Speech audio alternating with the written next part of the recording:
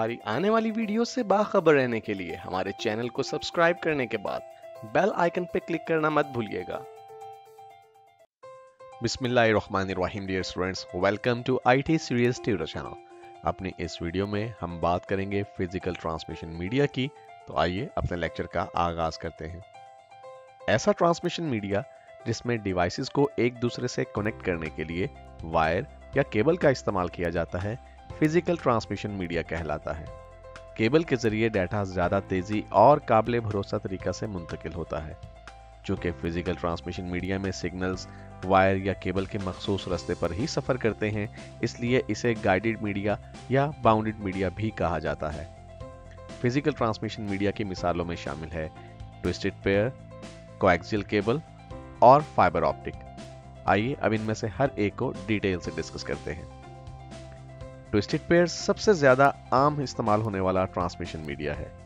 Landline phone networks और local area networks अमूमन twisted pair cable का इस्तेमाल करते हैं। ट्विस्टेड पेयर कॉपर वायर के पेयर्स पर मुश्तमिल होती है। कॉपर वायर के पेयर्स के गिर्द प्लास्टिक की इंसुलेशन होती है और ये पेयर्स एक दूसरे से लिपटे हुए होते हैं। ऐसा इसलिए किया जाता है ताकि इलेक्ट्रोमैग्नेटिक इंटरफेरेंस को कम किया जा सके। इलेक्ट्रोमैग्नेटिक इंटरफेरेंस से मुराद डाटा में पैदा होने वाली वो खराबी है, जो करीब से गुजरने वाली दूसरी केबल्स में से इलेक्ट्रिक करंट के गुजरने से पैदा होने वाली मैग्नेटिक फ़ील्ड के बाइस पैदा होती है।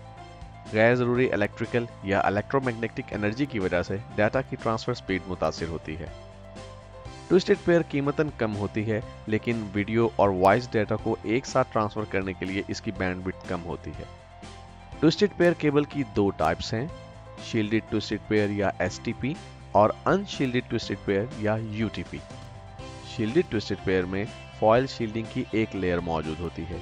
ये शील्डिंग EMI यानी इलेक्ट्रोमैग्नेटिक इंटरफेरेंस को कम करती है।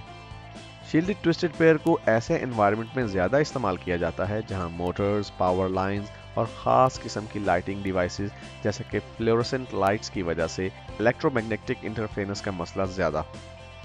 शील्डेड ट्विस्टेड पेयर केबल कीमत में अनशील्डेड ट्विस्टेड पेयर केबल से महँगी होती है और वज़न और मोटाई में भी ज़्यादा होती है। अनशील्डेड ट्विस्टेड पेयर या यूटीपी में फॉयल शील्डिंग की लेयर जो कि ईएमआई को कम करती है, नहीं होती। अनशील्डेड ट्विस्टेड पेयर केबल सस्ती, लचकदार इंस्टॉलेशन और इस्तेमाल के लिए आसान होती है, लेकिन ये इलेक्ट्रोमैग्नेटिक इंटरफेरेंस को नहीं रोक सकती। कंप्यूटर नेटवर्क्स में सबसे ज़्यादा इस्तेमाल होने वाले ट्विस्टेड पेयर स्टैंडर्ड्स दर्ज झेल हैं। कैटेगरी सिक्स या cat six category six A या कैट सिक्स ए और कैटेगरी फाइव ई या cat five E category five E सबसे सस्ती और घरेलू नेटवर्किंग जरूरियात को पूरा करने के लिए मुनासिब है। कैटेगरी सिक्स केबल 100 मीटर्स की दूरी तक 1000 मेगाबिट्स पर सेकंड की डाटा ट्रांसफ़र स्पीड फराहम कर सकती है। कैटेगरी 6A कैटेगरी 6 केबल का इम्प्रूव वर्जन है और ये 10 गीगाबिट्स पर सेकंड एथरनेट को सपोर्ट करती है। नेटवर्क में इस्तेमाल होने वाली ट्विस्टेड पेयर केबल्स में टेलीफोन कनेक्टर्स से मुख्तलिफ़ कनेक्टर्स जिन्हें R J forty five connectors कहते हैं, इस्तेमाल किए जाते हैं। ये कनेक्टर्स बज़ाहिर टेलीफोन में इस्तेमाल होने वाले कनेक्टर्स आर जे एलेवन से मुमासलत रखते हैं, लेकिन उनसे साइज़ में बड़े होते हैं। ट्विस्टेड पेयर के बाद अब हम बात करते हैं कोएक्सियल केबल की। कोएक्सियल केबल चार कंपोनेंट्स पर मुश्तमिल होती है।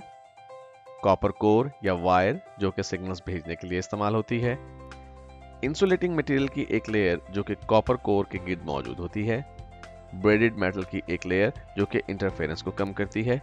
और कम वज़न प्लास्टिक से बनी एक बैरूनी परत, जो कि केबल के अंदरूनी हिस्सों को डैमेज होने से बचाती है।